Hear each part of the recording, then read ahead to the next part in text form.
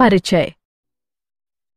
हम जड़, तना, पत्ती, पुष्पक्रम और पुष्प के लक्षण, प्रकार, रूपांतरण और कार्य की चर्चा पहले ही कर चुके हैं। अब हम बीजाणु जनन युग्मक जनन परागण, निषेचन, फल और बीजों का अध्ययन करेंगे।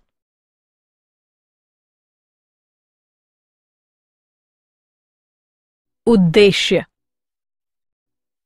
इस पाठ के अंत में आप निम्न करने में सक्षम हो जाएँगे। बीजाणु जनन को समझना, परागण की पहचान करना, निषेचन के बारे में समझना, फल की विशेषताएँ जानना, फल के प्रकार जानना, बीज की विशेषताएँ जानना, बीज के प्रकार जानना, बीजों के अंकुरण का अध्ययन करना बीजों की किशोरावस्था का अध्ययन करना, एक प्ररूपी पुष्पी पादप का अर्ध तकनीकी विवरण समझना, कुछ महत्वपूर्ण कुलों का वर्णन करना।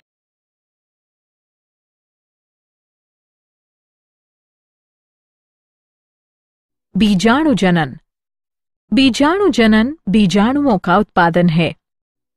जननात्मक बीजाणु पौधे, शैवाल और कवक में उनके सामान्य जननात्मक जीवन चक्र के दौरान बनते हैं। प्रसुप्त बीजाणु कुछ कवकों और शैवालों द्वारा मुख्य रूप से प्रतिकूल वर्धन दशाओं की प्रतिक्रिया में बनते हैं। अधिकतर यूकैरियोटिक बीजाणु अगुणित होते हैं और कोशिका विभाजन कुछ प्रकार के द्विगुणित या द्विकेंद्रकों और कोशिका संलयन के द्वारा निर्मित होते हैं।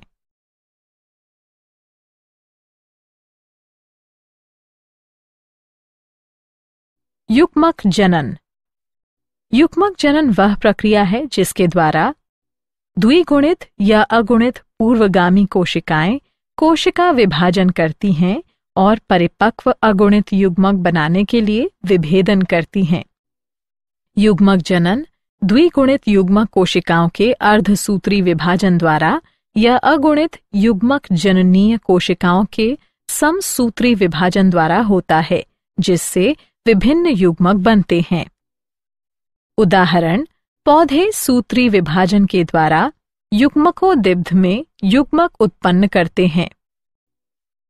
बीजाणुओं के सूत्री विभाजन के बाद अगुणित बीजाणुओं से युग्मको युग्मकोदिब्ध विकसित होते हैं।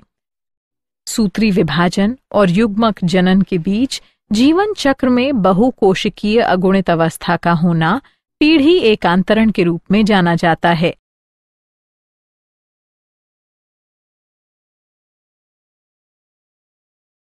परागण। परागण वह प्रक्रिया है जिसके द्वारा पौधों में पराग को स्थानांतरित किया जाता है, जिससे पौधे निषेचन और लैंगिक जनन में सक्षम होते हैं। परागकण, जिनमें नर युग्मक होते हैं अंडप के भीतर मौजूद मादा युग्मक तक पहुँचते हैं। एंजियोस्पर्म के पुष्पों में अंडप का ग्राही भाग वर्तिकाग्र कहलाता है। परागण के परिणाम स्वरूप संतति उत्पन्न होती है, जो अनुवंशिक रूप से भिन्न होते हैं। परागण की खोज क्रिश्चियन कोनरॉड स्प्रेंजल ने 18वीं शताब्दी में की थी।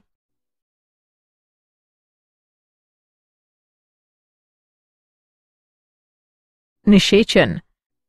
पराग नलिका बीजांड में नर युग्मकों को अंड कोशिकाओं तक ले जाती है। निषेचन, नर और मादा अवयवों का संलयन के कारण भ्रूण का विकास क्रमशः बीज और फल में होता है। जब किसी पुष्प की अंड कोशिकाएँ उसी पुष्प के पराग की नर कोशिकाओं द्वारा निषेचित की जाती हैं तो यह स्वनिषेचन और दूसरी स्थिति में यह पर निषेचन होता है।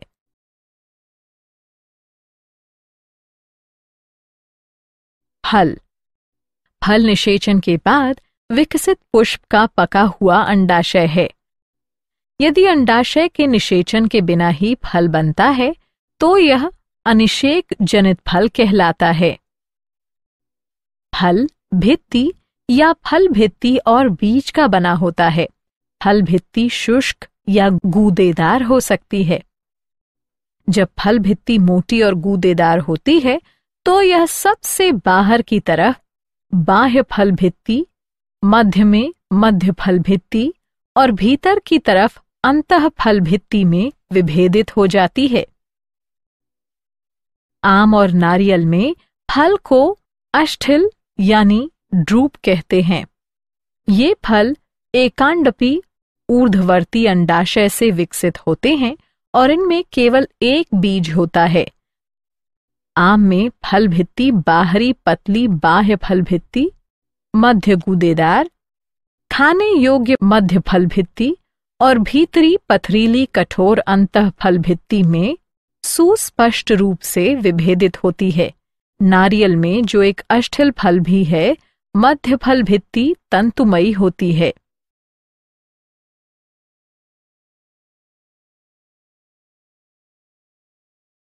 फलों के प्रकार। फल तीन प्रकार के होते हैं। एकल फल, पुंज फल, संग्रथित फल। एकल फल फल जो एकांडपी या बहुअंडपी, युक्तांडपी से विकसित होते हैं। उदाहरण, मटर। पुंज फल फल जो बहुअंडपी, व्युक्तांडपी, अंडप से विकसित होते हैं पुंज फल कहलाते हैं। प्रत्येक अंडाशय एक लघु फल में विकसित होता है और अनेक लघु फल मिलकर समूह बनाते हैं। उदाहरण, स्ट्रॉबेरी। संग्रंथित फल। फल जो पुष्प क्रम से विकसित होते हैं, संग्रथित फल कहलाते हैं। उदाहरण, अनानास और शहतूत।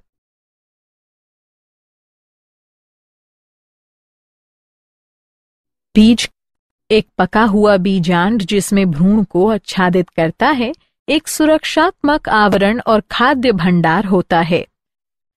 जिम्नोस्पर्म और एंजियोस्पर्म के लैंगिक जनन चक्र में निर्मित एक प्रवर्धन करने वाला अंग। सभी बीजों में सामान्य भाग है, भ्रूण, संचित भोजन और सुरक्षात्मक आवरण। भ्रूण एक मूलांकुर, एक भ्रूणीय अक्ष और गेहूँ, मक्का में एक बीज पत्र या चना मटर में दो बीज पत्र का बना होता है। यह बीज के अंकुरण पर एक नए पौधे को जन्म देता है।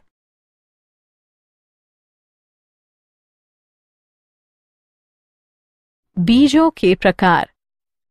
एंजियोस्पर्म के बीजों को दो प्रकार में विभाजित किया जा सकता है। एक बीज पत्री बीज या द्विबीज पत्री बीज। बीज जिनमें केवल एक बीज पत्र होता है, एक बीज पत्री बीज कहलाते हैं। उदाहरण, मक्का। बीज जिनमें दो बीज पत्र होते हैं द्विबीज पत्री बीज कहलाते हैं। उदाहरण, निलंबो न्यूसीफेरा।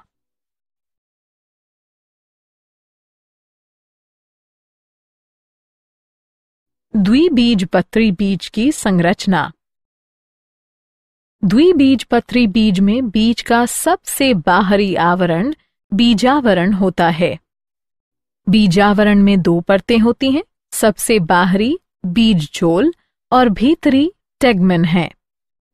नाभिका बीजावरण पर एक क्षत चिन्ह है, जिसके द्वारा विकसित हो रहे बीज फल से जुड़े होते हैं। नाभिका के ठीक ऊपर एक छिद्र होता है, जो बीजांड द्वार कहलाता है। बीजावरण के भीतर भ्रूण होता है, जो एक भ्रूणीय अक्ष और दो बीज पत्रों का बना होता है। बीज पत्र प्रायः गूदेदार होता है और इनमें भोज्य पदार्थ संचित रहता है। भ्रूणीय अक्ष के दोनों सिरों पर मूलांकुर और प्रांकुर होते हैं। कुछ बीजों जैसे कि अरंड में भ्रूण पोष द्विनिषेचन के परिणाम स्वरूप बनता है, जिसमें भोजन संचित करने वाले ऊतक होते हैं। सेम, चना और मटर जैसे पौधों में परिपक्व बीजों में भ्रूण पोष नहीं होता है, और ऐसे बीज अभ्रूणपोषी कहलाते हैं। उदाहरण, चना।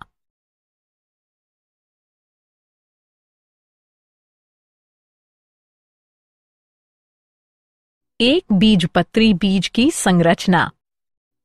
एक बीजपत्री बीज भ्रूणपोषी होते हैं, लेकिन कुछ, जैसे कि ऑर्किड में, अभ्रूणपोषी होते हैं। अनाज के बीजों, जैसे मक्का में, बीजावरण झिल्लीदार और प्रायः फल भित्ति से संलिप्त होता है। भ्रूणपोष स्थूलीय होता है और भोजन का संग्रहण करता है।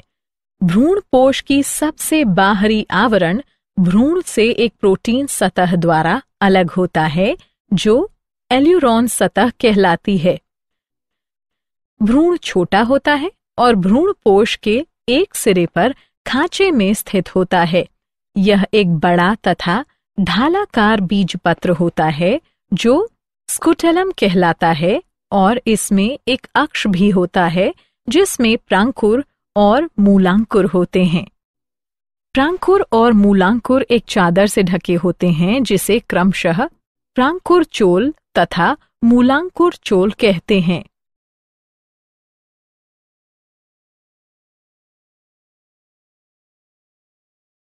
बीजों का अंकुरण। अंकुरण एक बीज में निहित भ्रूणीय पौधे की वृद्धि है, जिसके परिणाम स्वरूप नवोद्भिद पौधों का निर्माण होता है। पूरी तरह से विकसित बीजों में एक भ्रूण और अधिकतर पादप प्रजातियों में कुछ भोजन संचित होता है। भ्रूण एक बीजावरण से आच्छादित होता है। बीजाणु से निवोद्भिद पौधे की वृद्धि, जैसे कि कवक बीजाणुओं से हाइफी कवक सूत्र की वृद्धि भी अंकुरण है।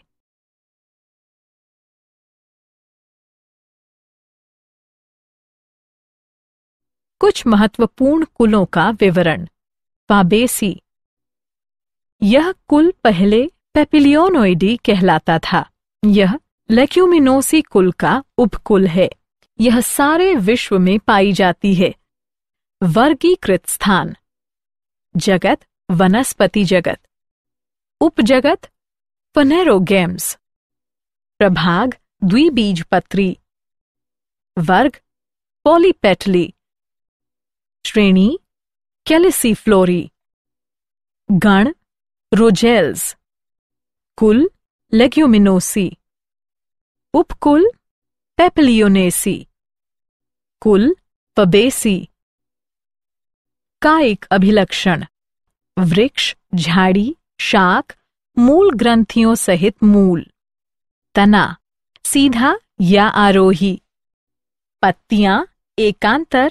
पिछाकार संयुक्त या सरल, पर्ण आधार, तल्पयुक्त, अनुपर्णी, जालिका शिराविन्यास पुष्पी अभिलक्षण।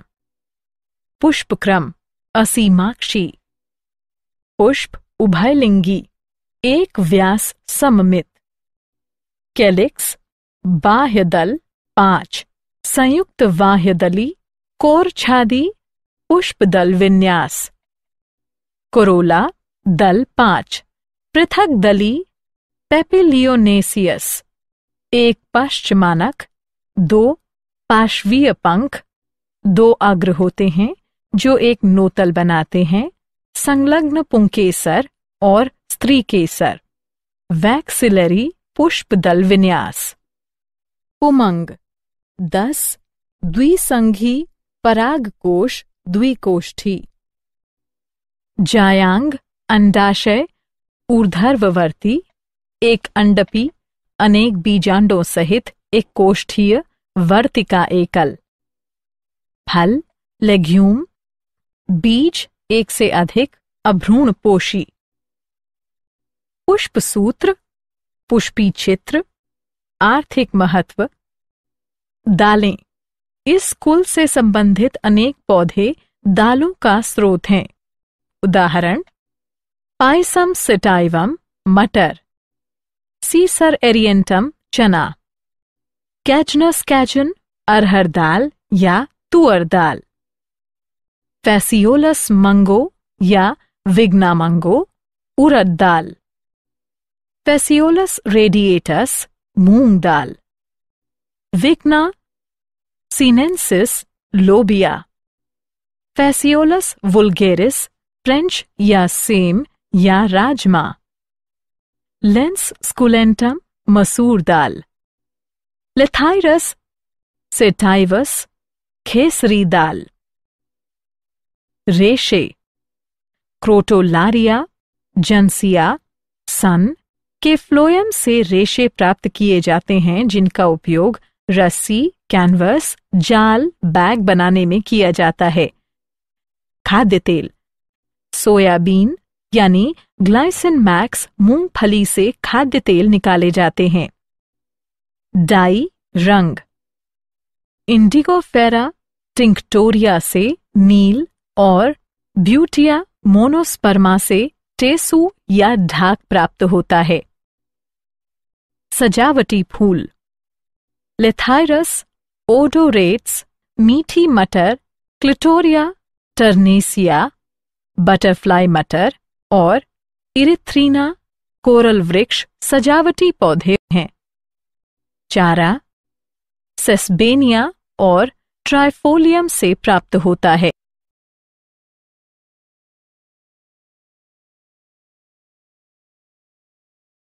सेलेनेसी यह एक बड़ा कुल है प्रायः इसे आलू कुल भी कहते हैं। यह उष्ण कटिबंधीय, उपोष्ण और शीतोष्ण क्षेत्र में भी फैले रहते हैं। वर्गीकृत स्थान। जगत, वनस्पति जगत। उपजगत पनेरोगेम्स प्रभाव, द्विबीजपत्री। वर्ग पॉलेपेटली श्रेणी बायकार्पलेटी गण पॉलीमेनियल्स कुल सोलेनेसी कायिक अभिलक्षण पौधे प्रायः शाख, झाड़ी और छोटे वृक्ष वाले होते हैं। तना शाकीय कभी कभी काष्ठीय, वायवीय, सीधा, बेलनाकार, शाखित, ठोस या खोखला, रोमयुक्त अथवा अरोमिल आलू में भूमिगत तना, सोलनम, ट्यूबिरोसम।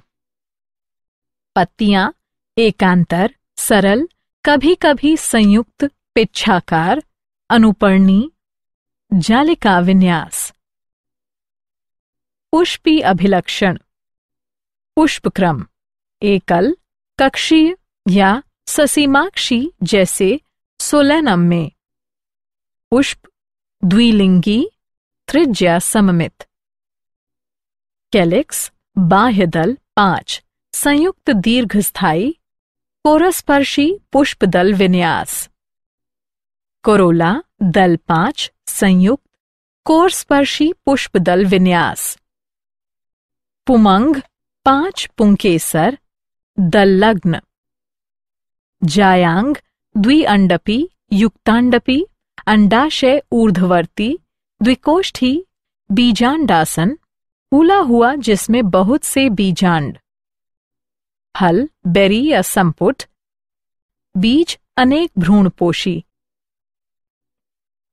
पुष्प सूत्र पुष्पी चित्र आर्थिक महत्व। सोलेनम, ट्यूबिरोसम, आलू के कंद में प्रचुर स्टार्च होता है। सोलेनम मेलंजीना बैंगन के फलों में आयोडीन होता है। लाइकोपॉर्सिकॉन, स्कुलेंटम, टमाटर के फल खाने योग्य होते हैं। कैप्सिकम एनम मिर्च मसाले प्रदान करता है। फाइसलिस पेरोवियाना से केप गूसबेरी एक स्वादिष्ट फल प्राप्त होता है। एट्रोपा बेलाडोना जड़ों से औषधि प्राप्त होती है, जिसका उपयोग पुतली को फैलाकर नेत्र परीक्षण किया जाता है। दातूरा मेटल और दातूरा स्ट्रामोनियम की पत्तियों और फलों से औषधि निकाली जाती है, जिसमें एल्केलॉइड एट्रोपिन होता है। इसका उपयोग नेत्र परीक्षण में किया जाता है। सूखी पत्तियों और फलों से आषधि हायोस्काइमस नीगर हेनबेन प्राप्त की जाती है, जिसका उपयोग दमा और काली खांसी के उपचार में किया जाता है। विथाइनिया सेमनीफेरा अश्वगंधा की जड़ों से अश्वगंधा औषधि निकाली जाती है, जिसका उपयोग खांसी और गठिया में किया जाता है।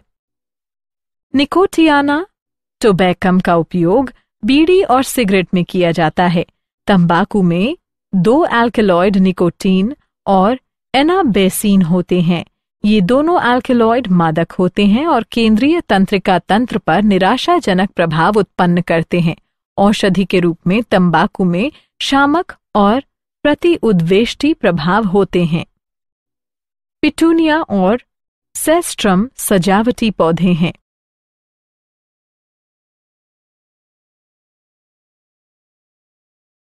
लिलियसी। इसे प्रायः लिली कुल कहते हैं। यह एक बीजपत्री पौधों के लक्षण दर्शाता है। यह सारे विश्व में पाए जाते हैं। वर्गीकृत स्थान, जगत, वनस्पति जगत। उपजगत, वनरोगेम्स। प्रभाव, एक बीजपत्री। श्रेणी, कोरोनरी। कुल, लिलियसी। कायिक अभिलक्षण भूमिगत, शल्ककंद, कौर्म या प्रकंद सहित दीर्घकालिक शाक। पत्तियाँ प्रायः आधारीय, एकांतर, रैखिक, समांतर शिरा विन्यास के साथ अननुपर्णी। पुष्पी अभिलक्षण।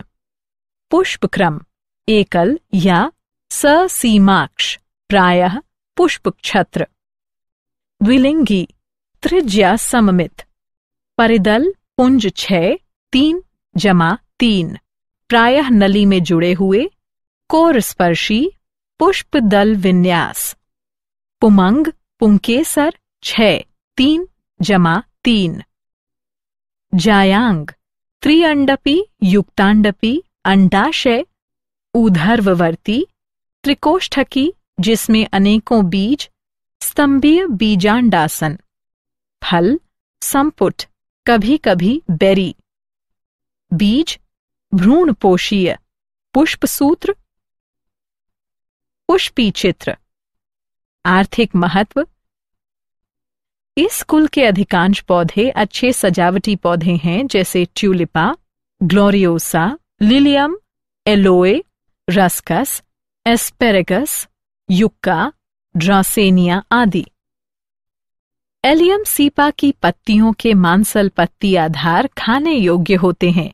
एलियम सेविटम के शल्क कंद खाने योग्य होते हैं। स्माइलैक्स चाइना स्माइलैक्स की जड़ों से सरसा पारीला निकाली जाती है, जिसका उपयोग त्वचा रोग में किया जाता है।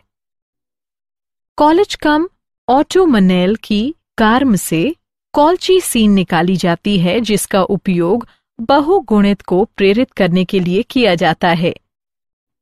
एलोए से एलोइन निकाला जाता है, जिसका उपयोग त्वचा रोगों में किया जाता है, जबकि एलोएवीरा जूस का उपयोग पाचन संबंधी विकारों में किया जाता है।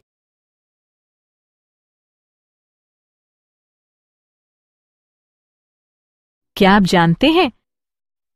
नारियल, सिंघाड़ा, मूंगफली, सुपारी, पाइन नट असत्य नट के उदाहरण हैं। कुछ कुकुरी बिट के कड़वे स्वाद का कारण ट्रीटी पिनेज की उपस्थिति है। लोडोएसिया मल्डीविका सबसे बड़ा फल और सबसे बड़ा बीज है। ऑर्किड के बीज सूक्ष्म, शुष्क और रेत के कणों से हल्के होते हैं।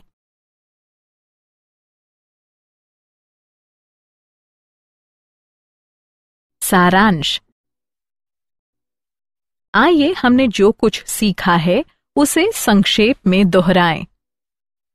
निषेचन के पश्चात अंडाशय फल में और बीजांड बीज में बदल जाते हैं। बीज या तो एक बीज पत्री या द्विबीज पत्री हो सकते हैं। वे आकार, माप और जीवन क्षमता की अवधि में भिन्न होते हैं। पुष्पी अभिलक्षण पुष्पी पादपों का वर्गीकरण और पहचान का आधार बनाते हैं। इसे कुलों के अर्ध तकनीकी विवरण के द्वारा स्पष्ट किया जा सकता है। वैज्ञानिक शब्दों का उपयोग करके पुष्पी पादप का एक निश्चित अनुक्रम में वर्णन किया जाता है। पुष्प अभिलक्षण को पुष्पी चित्रों और पुष्प सूत्र के रूप में, संक्षिप्त रूप में दर्शाया जाता है।